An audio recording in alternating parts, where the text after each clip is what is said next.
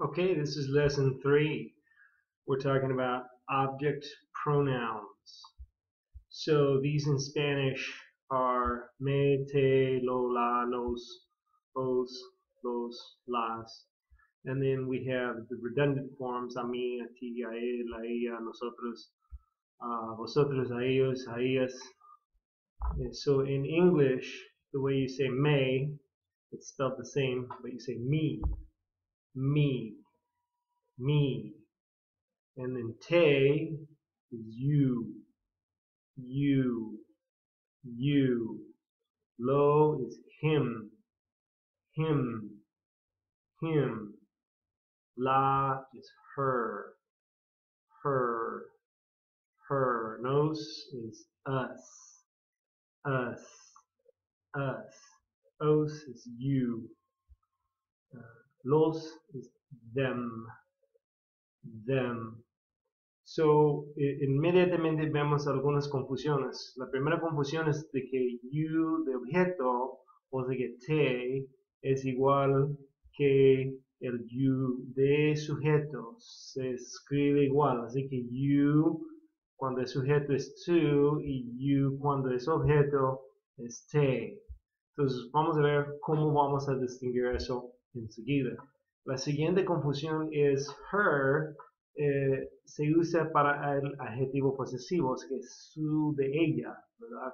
Es su carro, it's her car, ¿verdad? Entonces, otra vez, vamos a ver cómo vamos a distinguir eso y eso no va a ser de confusión para nosotros. Quiero reconocer de que tenemos el, el plural de you que es te y os, ¿verdad?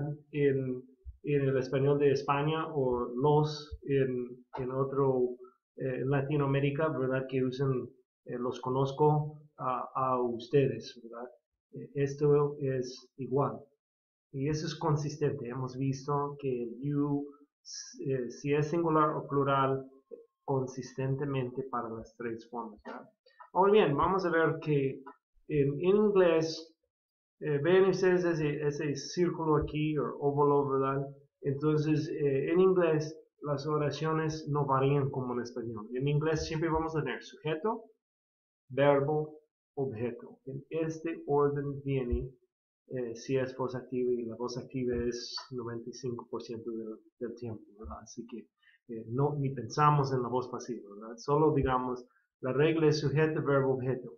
Entonces, ¿qué es el sujeto? Hace la acción del verbo, el verbo es la acción y el objeto recibe la acción del verbo. Así que es una flecha, toda la oración parte del sujeto, va atravesando el verbo y llega al objeto. El objeto recibe la acción del verbo. Así que esos pronombres en inglés, me, you, him, her, us, you, them, siempre reciben la acción del verbo. Y aquí veamos que siempre vienen después del verbo. No como en el español, que el español puede poner el objeto antes del verbo, antes del sujeto, rara vez antes del sujeto. Pero uh, el español puede cambiar el orden, el inglés no. Sujeto, verbo, objeto. Muy bien, vamos a ver las oraciones. Oraciones 1 a 6, ¿ok? Uh, Jesus loves me. Jesus loves me. Jesus loves you. Jesus loves you. Jesus loves him. Jesus loves him. Jesus loves her. Jesus loves her. Jesus loves us. Jesus loves us. Jesus loves them. Jesus loves them. Ok, Jesús me ama, Jesús te ama, Jesús lo ama, Jesús la ama, Jesús nos ama, Jesús los ama, or os, er, las ama.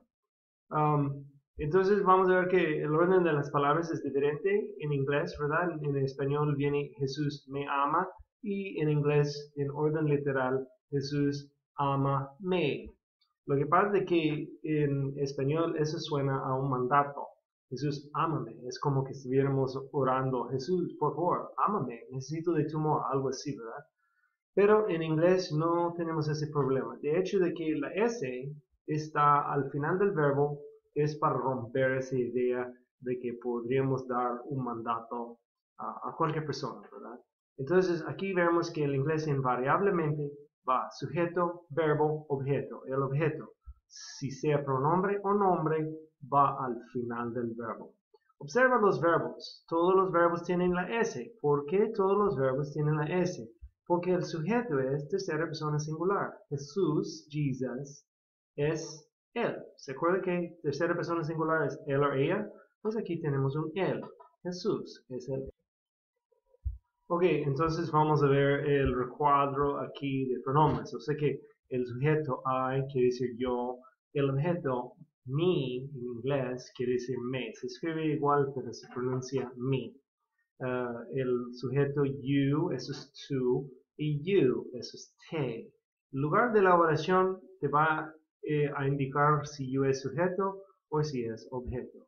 Muy bien, he, que es el sujeto él, him, que es el objeto lo, she, que es ella, sujeto, her, que es objeto la, we, nosotros, sujeto, us, objeto nos, they, sujeto, ellos o ellas, them, eh, objeto, los o las. Muy bien, entonces aquí eh, no sé dónde aparece eso, pero tenemos eh, aquí algunos ponemos la T muda, ¿verdad? Que ocurre cuando hay una S o una F. Listen, listen, often, often, castle, castle, fasten, fasten. Muy bien, entonces vamos a ver aquí eh, la solución que tiene el inglés por el problema de que you es segunda persona. Puede ser plural y puede ser singular. Entonces, para forzar una comprensión plural, tenemos soluciones regionales aquí en los Estados Unidos. Digamos aquí en California, yo soy de California, entonces para forzar una comprensión de you plural, agregamos la palabra guys. Ahora guys no es homosexual, eso sería gays. Guys quiere decir más o menos tipos o muchachos o algo así. Entonces, eso sería eh, vosotros muchachos, se entiende y solo se reduce vosotros o ustedes en el sur de los Estados Unidos eh, combinan la palabra you, que es segunda persona, eh, con all. All quiere decir todos y normalmente lo contraen. Entonces vamos a aprender contracciones. Después tenemos eh, lo que parece ser una coma en el aire aquí. Eso se llama apostrophe.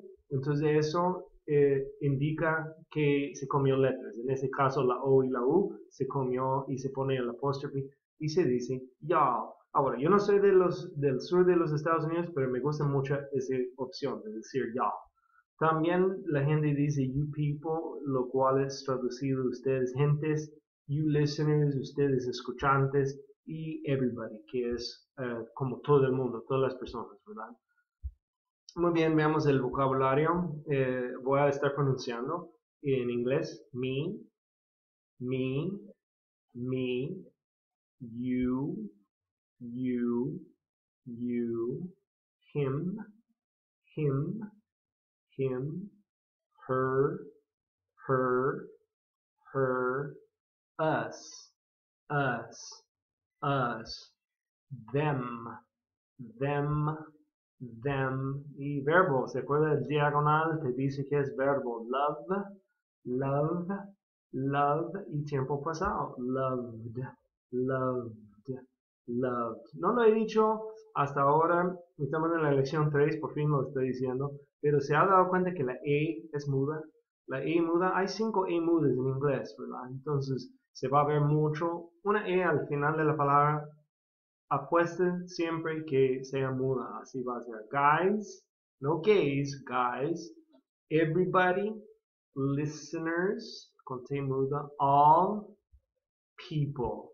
Ahora, muy bien, quiero llamarles la atención eh, a este, este recuadro es el completo de los pronombres. Aquí tenemos pronombres de sujeto, tenemos adjetivos posesivos y tenemos pronombres de objeto, ¿verdad? Entonces, ese recuadro yo te recomiendo de que lo copies sobre una, una tarjetita, una ficha y que puedes estar repasándolo continuamente porque esas palabras son chiquitas, son semejantes, son enojosas y hay que saberlo indefectiblemente. Así que copia eso. Primera persona singular, segunda persona singular, tercera persona singular, primera persona plural, segunda persona plural. ¿Por qué no tengo, perdón, tercera persona plural? ¿Por qué no tengo segunda persona plural? Sí, porque es exactamente igual a la segunda persona singular. Aquí se ve ahí también segunda persona. No hay cambio de las formas. You quiere decir tú, your quiere decir tú sin tilde, o vuestro, o su de ustedes y you que quiere decir te o quiere decir os o, los de ustedes, ¿verdad? Yo les, yo les, eh, yo los escojo a ustedes, ¿verdad? Los, I choose you.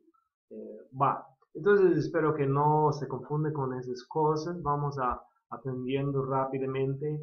Como digo, si hay una cosa que no hayas entendido, aquí puedes volver a escuchar esa lección las veces que quieres pero también te animo de no frustrarte, seguir adelante, las cosas empiezan a hacer clic al ir avanzando. Así que memoriza esas palabras, es sí, esos vocabularios, memorízalos, memorízalos, memorízalos.